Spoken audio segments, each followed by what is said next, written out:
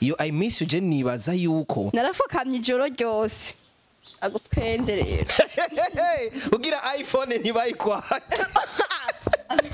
no Wara- warafukamye ijoro ryose gusaba imbabazi. Eh, gira ni wakwe no! Usanzwe ukoresha makeup za buri munsi ntizihagarare. Ugutagata kwa Alvin, na- asubire kumusaga aho yahora aba.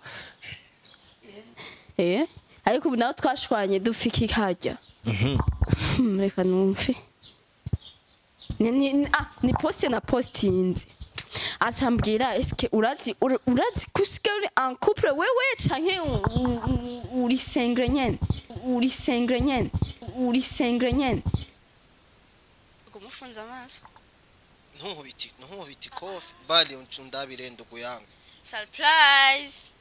Surprise! Surprise for you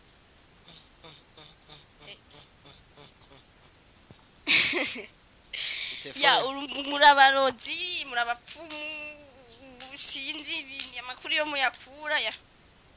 Surprise. Ibi byose ubikoze kubera narinze amakuru yawe kuba ufise inda. In- no! No. Wa donc warangendeye ko cyane kandi umaze iminsi ungendera ko ya? Bakunzi ba hitop tv the number one channel in our country.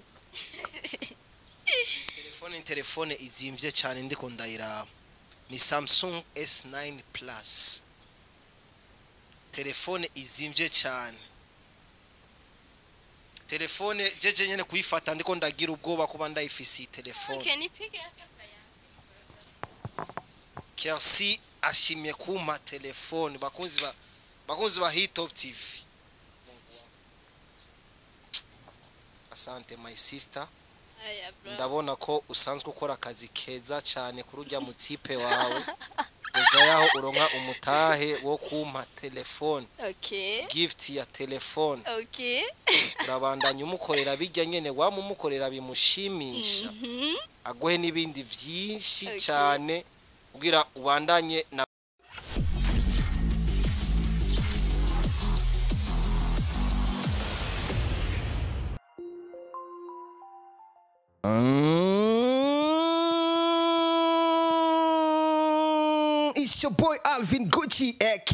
aka Janjalao, The Morning Star, aka Sharpshooter. Bakunzi wa Hit Top TV, the number one channel in our country. Murameze fresh, nizere ko mumeze neza ku mpande zose z'isi. So nkuko musanzwe mubizi neza cyane ubaha ama image ameze neza, asukuye, atomoye. Ni Beje de la Capitale, MC Lato, Imbecile Yves Bali. Umutananigwa atigerananigwa kiretse iyo twigirishije. So right now bakunzi wa Hit Top TV, eh, murabona ko mu bwami bwa Hit Top TV twatewe iteka. Iryo teka twaba twaritewe nande, ariko kwanza imbere ya vyose mwari mumaze iminsi mutamubona umutananigwa Alvin Gucci. Yes sir. Eh, mwari mumaze igihe kinini cyane aho habonetse amajambo menshi cyane atandukanye ariko vyose narabironka nk'umutananigwa eh, nkaguma gusa ndaba akarere kungena akarere kaguma gapangwa turacyari hano nyene twoja he eh? We are the best we are the international. Muramubona wo turi kumwe mu bwami bwa hitop tv ni kersi mumuzi mu bintu byinshi cyane bitandukanye. Eh, mumuzi mu mashobize menshi atandukanye. Ariko kuri iyi nshuro reka kandi tumuzane muri hitop tv dutere nawe story tuvugane ibintu byinshi cyane bitandukanye. Ndakuramukije my sister. Ndakuramukije my brother. Umeze fresh? Meze neza. Uri gutwengikiwe style look yawe. Ni ikintu navuga ko mwa kino gihe unanitesa sana dada yangu. Unanitesa sana. Eh, eh. Reka mbe nka ba bandi. Aka ka style ko mu mutwe vyatwaye depense y'amafaranga. Amafaranga nanje ntayo nzi. Baje kubingirira muhira uko nyene. Urumva wewe ntavyo kugenda muri salon de beauté Ma- ngo bagu- wakupige ma style ma freshere nabonye nyene surprise uko nyene tega mu mutwe. Mhm. Nta giciro basi uzi. Canke vyose vyavuganye na na marajere Ntabwo udakunda kuvyemera. So bakunzi ba hitop tv ndabaramukije cyane j'espère ko mumeze neza. Twaherukana kera ntukaya. Nawe umeze neza ndabibona mwaherukana kera? Herukana kera na hitop tv ni kera cyane burya. Ukiva hariya ahantu hariya ni kera avril. Haciye ukwezi ni kurahera mbunyise gute? Avril abakozi ba hit of tv the number one channel in our country. Ndazi kasi mwari mumukumbuye kumubona mu bwami bwa hit of tv nk'umutananigwa nashimiye kumubazanira kugira tuvugane ibintu byinshi cyane bitandukanye. Ndazi kasi eh, haravuzwa amajambo menshi kuri kasi ariko nk'umutananigwa mbashaka nyene kugira ndabaho umuco. Narabwiye yuko nzomukurikirana kugira menye ibintu byinshi cyane vyoba vyinyegeje mu kuri we kubw'ubuzima bwiwe. Mbega ubu bimeze gute your life? Eh, bimeze neza bro. Ubuzima kila kitu kiko fresh. Kiko poa. Yani mbe ubu twovuga yuko mbe wisuma mu biki ubu eh? Ivyo wisumamwo ni biki ivyo ukora akazi usanzwe ukora tukeneye kukamenya bon right now sinda sifisi ikintu ndiko ndakora. Mm, ariko mu minsi ya ntufise ikintu uriko urakora? Ndagifise icyo ndiko ndakora kugira kwitaho umu- umuntu wanje umu? Umuntu. Umuntu wanje ushatse kuvuga umuntu wawe ni ni ni ni ni ni- ninde gabasha ninde gabasha ninde ni avine ah reka kungora. Umbwiye yuko muri iki gihe nta kazi uriko urakora atari gusa akazi ko kwitaho Um- umuntu wanje of course. Ko kwitaho umuntu wawe. Yeah. Tugushire muri ya nombre y'aba slay queen. Slay Queen? No. Why Slay Queen? Ico kintu urakihakanya yes the Slay Queen? No. Hari abantu benshi cyane bakunda kuvuga ko kersi gerageje ngo tugerageje kumuraba uyu mudada ashobora kuba akora no muri bwa buzi bwo kwidandaza. Icyo kintu je ndacyumva cyane ariko nanje gerageje kuraba your life. Maisha yako yawe ayaeleweki dada yangu. Kiretse ubu uhejeje kunyemerera yuko akazi ufise ariko kwitaho umuntu runaka. Nubwo udashaka kumuvuga ngaho tushyire muri nombre y'abantu witaho cyangwa n'umuntu umwe? Ni umuntu umwe bro. Eh brother brother. Ntumuzi bro. N'umuntu umwe. Eh. Kandi ni nawe agutagatisha uko kose tuguma tubona.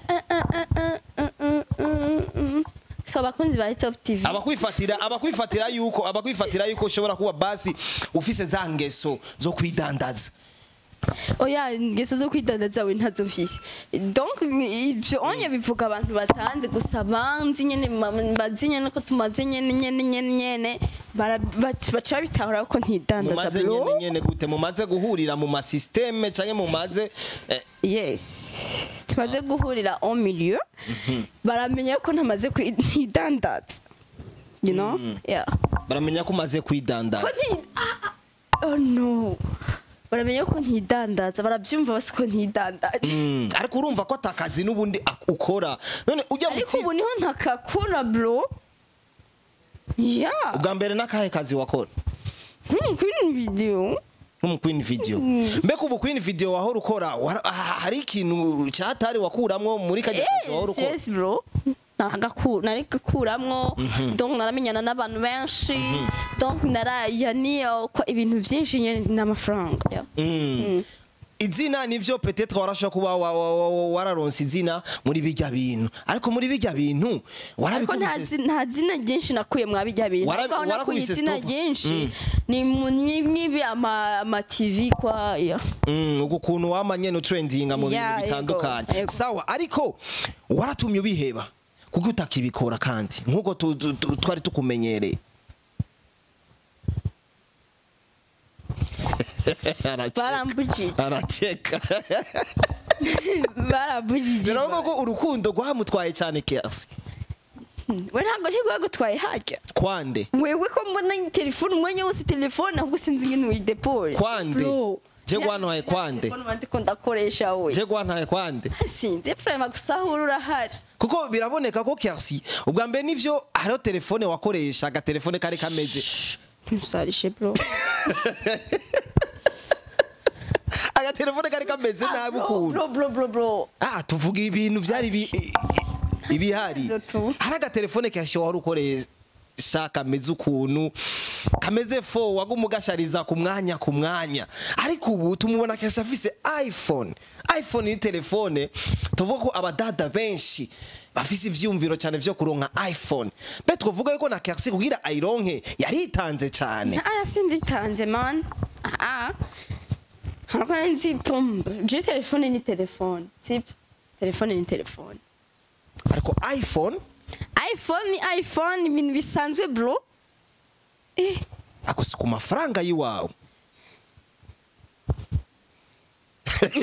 waritanze cyane kugira oya uronke iyo iphone? sinitanze habe na gato duhe story basi iyo iphone ko ingene yabonetse iphone ukuntu yabonetse ni uko narakunze nagiye mu rukundo hama ndayibona mbona barayimpaye bakaguha kado ya iphone. Ya yayirungikanye umuntu Mhm. duhe basi story gato kuri ujya mutipe wawe ndaguhe sitori gute bro. Ku basanzwe batabizi duherukana dukorana ikiganiro wari uvuye hanze na black chance. Ariko umwa kino gihe nta maposti tukibona hagati yawe na black chance. Amakuru kandi nkashobora kuba mfise yuko wowe na black chance hari icyuka kimeze nabi hagati yanyu mwebwe babiri.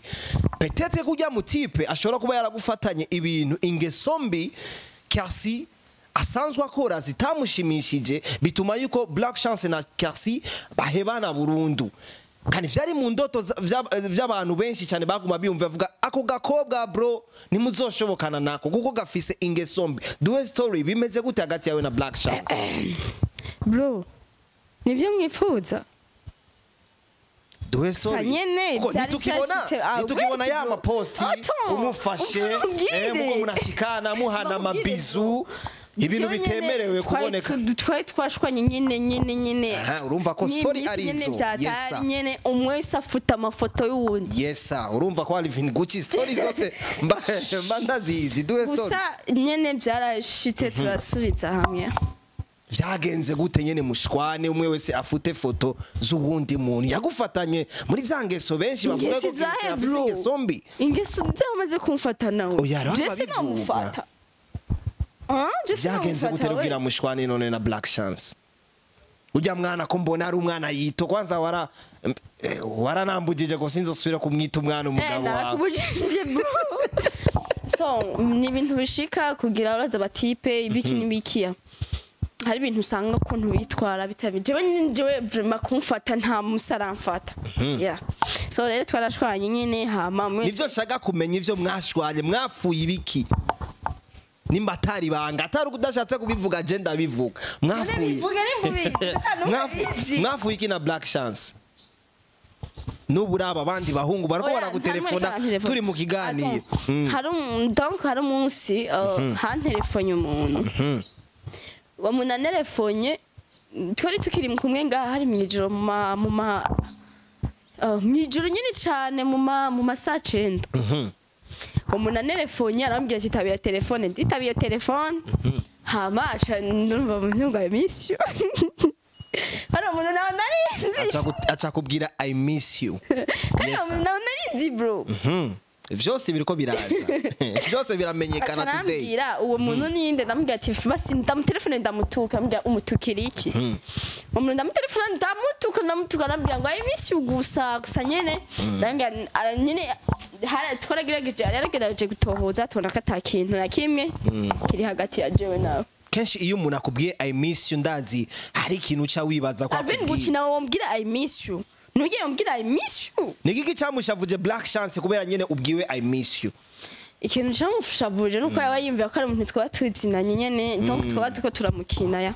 Ariko ntabwo ntako byari buko iyo i miss you je nibaza yuko narafukamye ijoro ryose.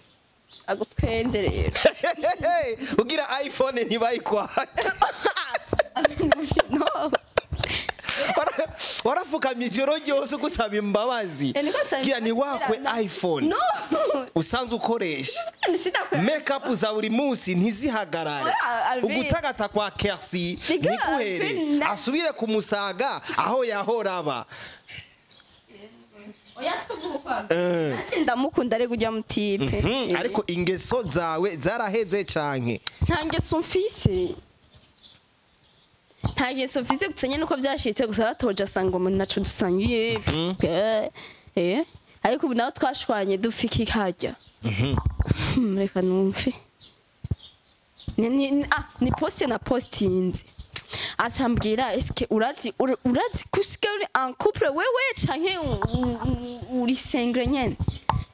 Namubwira ati ndi en cambwira futa biriya bya bintu na postinze ni ho nari nkibishira ko n'abantu benshi bari babibonye kandi nabishize kubera nari nashoboye yese kumvugisha hama. Hama cambwira amapenzi yatawa uwo watoto ehe hama cambwira nca namubwirira ati bon. Wari wase kumvugisha ni nakwandikira nka kumvugisha nico bituma nabishizeko mm. bica bituma rero ati mburezi kuri kura uri kura ura- uramaramaza ku bantu nkoresha Teko kwa kwa ndavuga ati bon rero byashitse amusore umumaramaza ku bantu we akoresha ndavuga ati I'm sorry tuze bajama hino ibiki nagiye presenta ukuntu bariko baranuka kwa ndavuga ati I'm sorry ni ibintu bisanzwe. Icya mbere naguha amafaranga uze kwifotoza ifoto. Naguha amafaranga uze kugira i- shopping inebwo yo bikanze mugende kugira ifoto basi isa ugenda ugura ubuhuzu ari ifoto bino ukagupostinga bwa buhuzu bwariya muntu Chayina ngura impuzu ziri sexy. Ah numa ah. Chayina ngura impuzu ziri sexy. Bamweshere ziri se ah no ziri sexy. Ubu buja flavor nyene. Kuko umviriza hari uduhuzu umuntu agura wigi buja flavor nyene. Yes twari sexy nyene nyene acambwira ati eske uri umuntu uri kuridandaza uri ku isoko uri kucamuga ati natuguze mbe kubera mbona turi sexy. Acambwira ati mm. Ya, nivyo twapfuye ni turashwana nyene turashwana nyene vyatari ushira mvuga ati nyene vyaheze mara 4 4 4 jours tamvugisha nanje camvuga ati reka nandike single again. Uca wandika? Ko ndi single we? Ah uca wandika esawa. Ko ndi single ndavyandika nca ndabishira kuri profile. Ndabishize kuri profile acambwira ati urisiyo ko je nawe vyaheze cambwira ati wambwiye vyaheze nanje nabonye ko vyaheze so canangira kuri instagram ndabicumitayo canangira no kuri facebook yose ndabicumitayo acambwira ati "N- mparure kabiri gatatu bijya bintu wabivanyeyo ndabivana abiboneka ko urukundo rwa Kersi na Black Chance. Byari bimeze nk'ibintu bigondamye gato vyagira bihe. Sambraga vrema byari nanjye nanze ati vyaheze bro.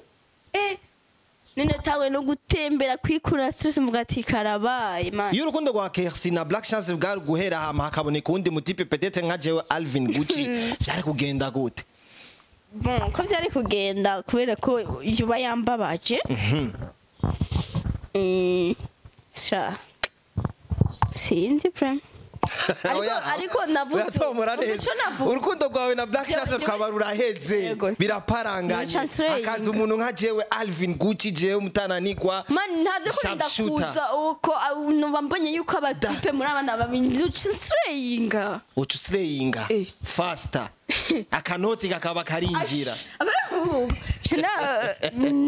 Akanoti kakaba kandi karinjira. narabivuze kuko ni umutipe wa mbere nkunze nkunze nk'uko ya sasa rero sinzi buriya ko umutima nzosubira kuronka wo gukundana ya Kersi iyo utamubona Black Chance aguha utu iPhone aguha udufaranga uje kugira amashopping mu bandi bahungu ashobora kuba ataco afise. Wari kumuha ico kibanza bro nari kumukunda je nsha- nkunda ushaka urukundo bro. Uwo mukunda gute kandi tuzi ko Kersi bamukuye ku musaga aho vyavugwa ko Kersi yaba mu nzu imeze nabi itameze fresh ubu akaba aba mwishato yo mu kibenga aho bahora babana n'ujya mu Black Chance wiwe iyo chance wari kuyiha gute wundi muntu?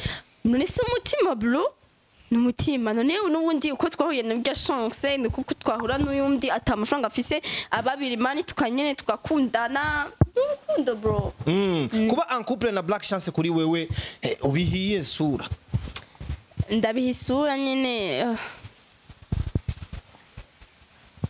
erega nubwo atompa ikintu na kimwe bro ndamukunda ujya mutiba ntibikunda. Ntibikunda tureke guhenda nta Kersi Black Chance ndazi ubuyo yavuga bana jewe utunoti nama ndaguha ndahagaritse. Wosubira kumukunda? Yego ni umukunda. Ni igiki cyo tuma umukunda?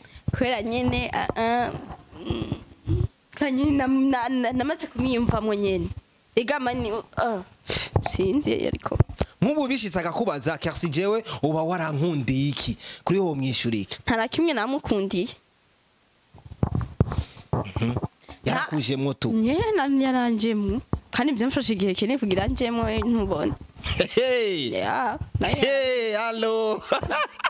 none ni biki bro byafashe umwanya munini ego nanjye kugira ngo nabiti arabizi agutongoza kudraga umwanyira ama message za hapa na hapa oyo yo ujya mutipa aragarawe yaranyandikira akiga nkamwandika message agacaza kwishura nka soire we.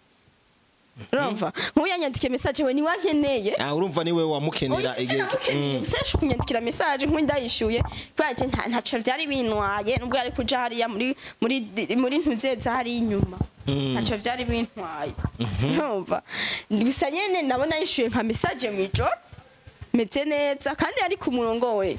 Unya yavuga ngo nashaka ngo usa ntubone ko ndagushobokeye. Mm. kenshi black chance akunda kuvuga igiswahili cyangwa igifaransa. Nawe tukaba tuzi we mu giswahili eh, ni swata za hatari n'igifaransa ni swata za hatari kenshi muvuga ni ikina na black chance? Tuvuga n'ikirundi oya nta kirundazi.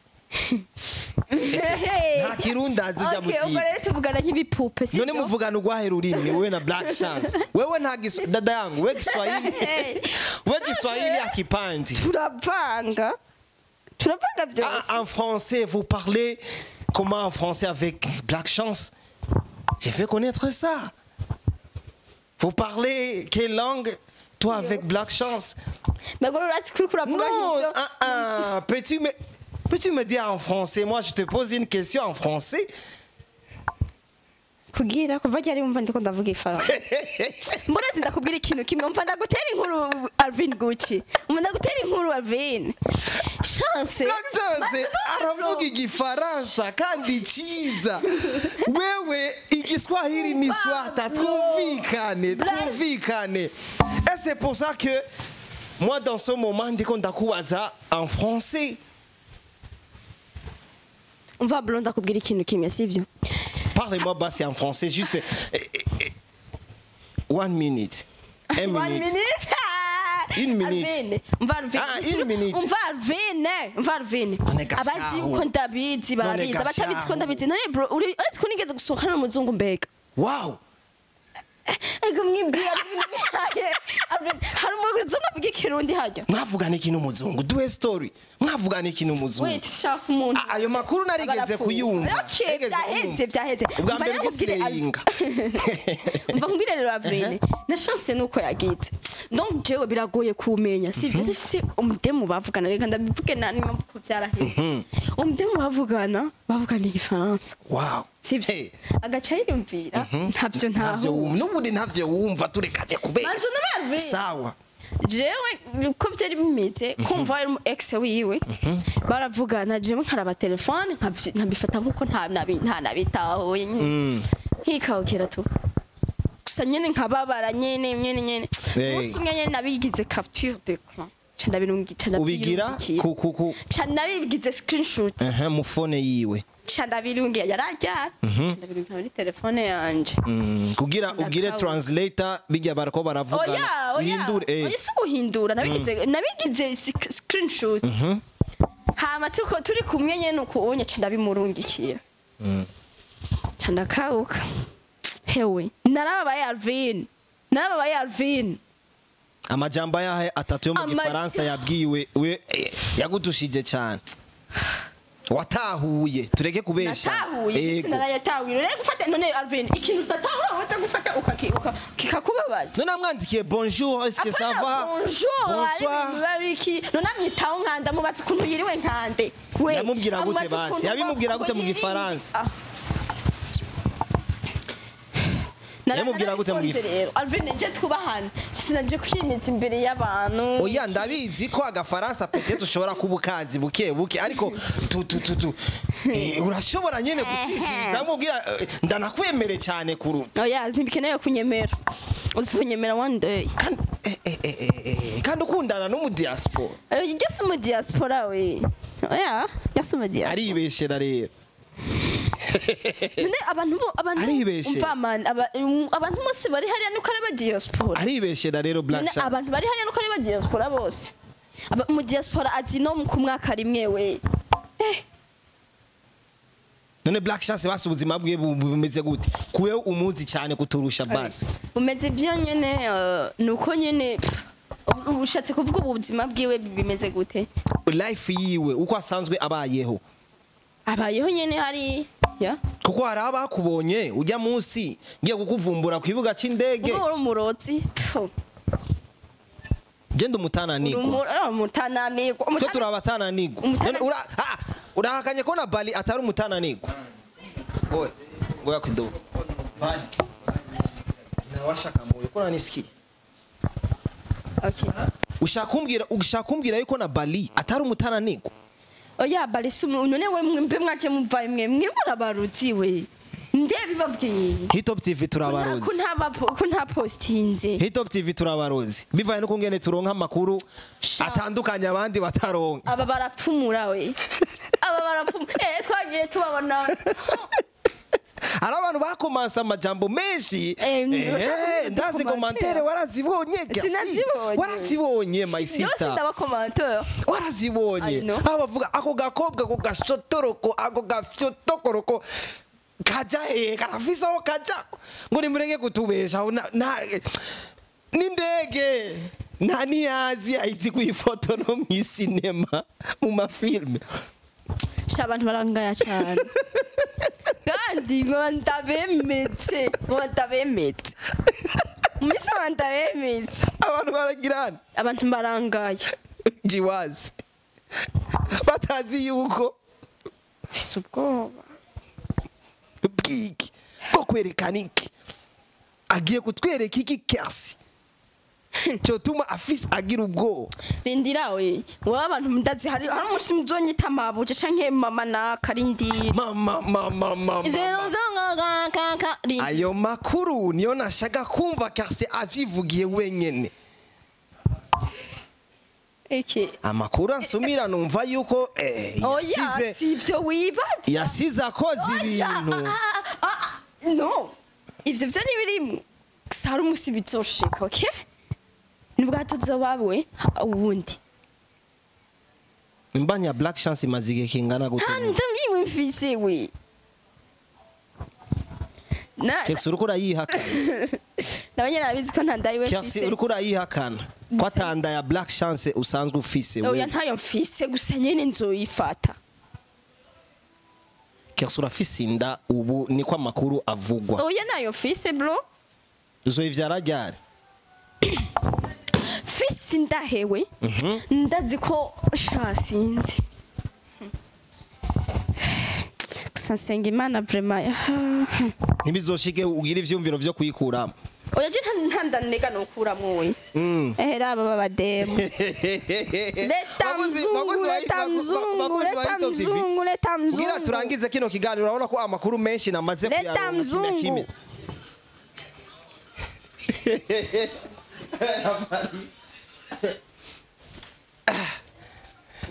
bakunzi ba hitop tv the number one channel in our country. Urabona yuko ibintu vyafashe iyindi iyindi sura. Ngo Jackie Dogo ehe ibintu vyafashe iyindi sura. Nkeneye kumenya message. Message ya nyuma. Uheruka kuvugana na Black Chance. Message ya nyuma? Eh.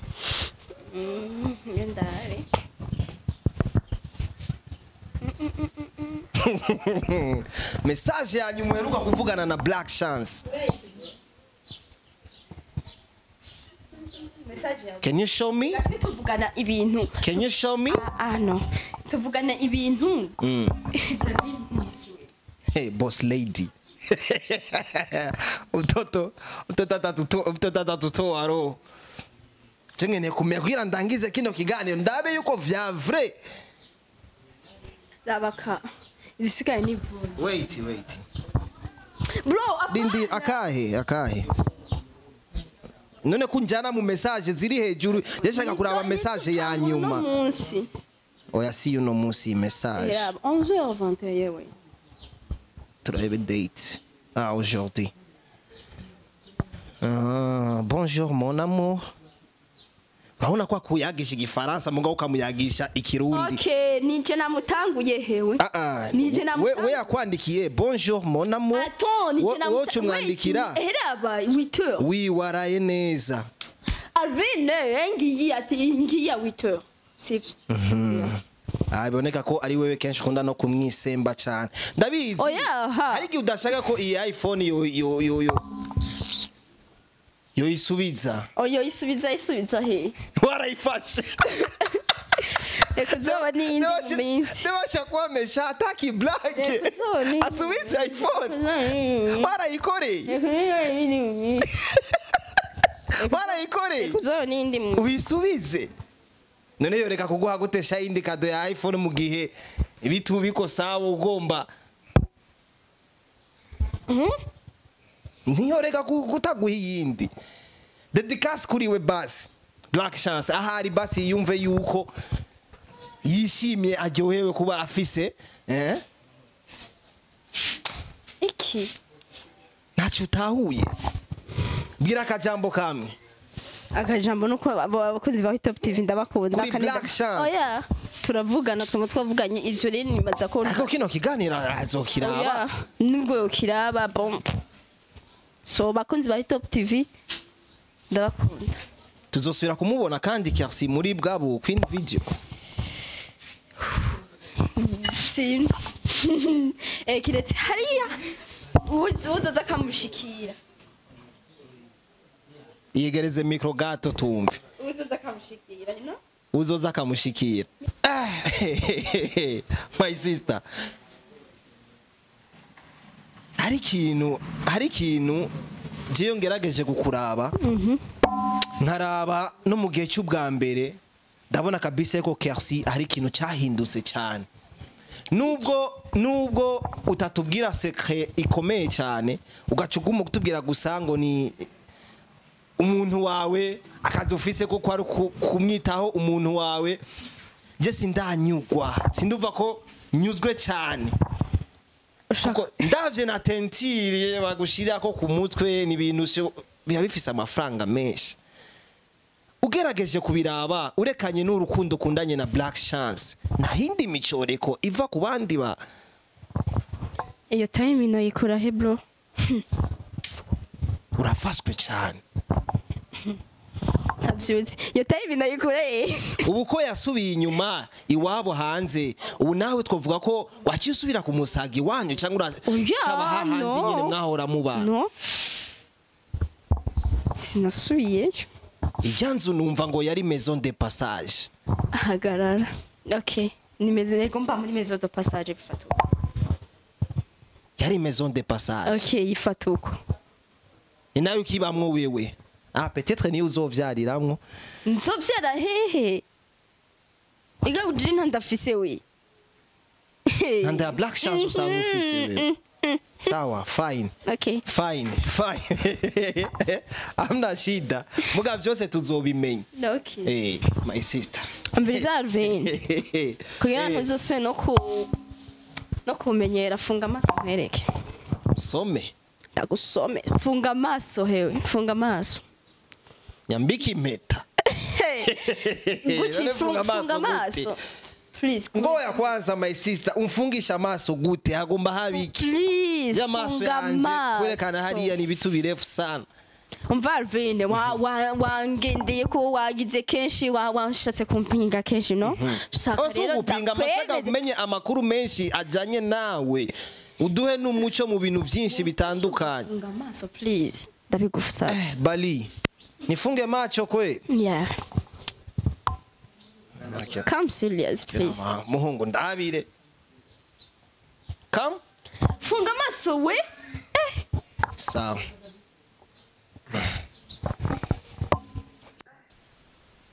Ngo umufunze amaso ntunkubiti ntunkubiti kofi. Bali ndabire ndugu yangu. Surprise. Surprise. Surprise for you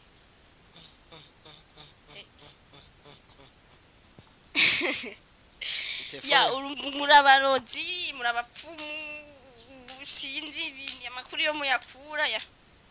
Surprise. Ibi byose ubikoze kubera narinze amakuru yawe kuba ufise inda. In- no! No. Warangendeye ko cyane kandi umaze iminsi ungendera ko ya. Bakunzi ba hitop tv the number one channel in our country.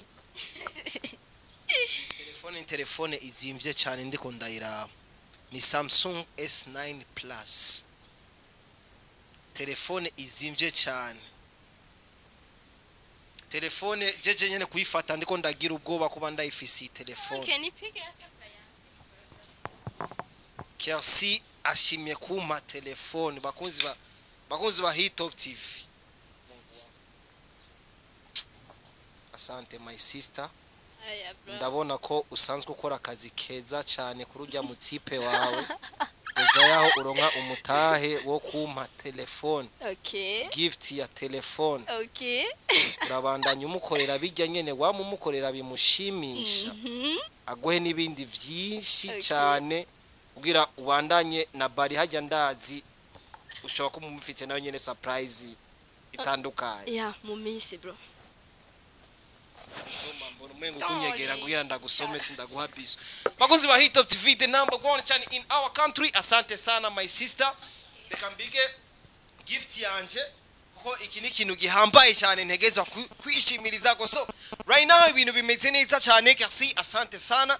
Kuba eh, witavye ubutumire bwo muri Hit Up TV the number one channel in our country. Kandi ndazi ko nivyo twavuganye byinshi cyane. Wa watangaye cyane kuba mfise amakuru menshi cyane oya amakuru wavuze siyo. Siyo just sinwite no. Basi basezera abakunzi ba Hitop TV abakunzi ba Hitop TV ndabasezeye cyane eh, kandi ndabakunda you know? Mm. so kora subscribe kuri channel ya Hit Up TV the number one channel in our country the number one station in our country. Nitwigera tunanirwa kiretse iyo twigirishije ukore kandi na subscribe kuko murabatananirwa turabatananirwa twese hamwe. Eh, over. Asante sana if bali